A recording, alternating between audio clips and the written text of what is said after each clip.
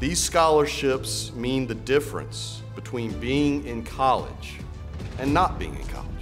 Thank you so much for giving me this amazing opportunity to study here. And without your help and support, it would not be possible. I think you want to invest in future generations uh, for the right reasons. And uh, in a world where there's, you know, there's so much uh, ugliness, you know, if we invest now, then I think we can uh, make, a make a difference in this world.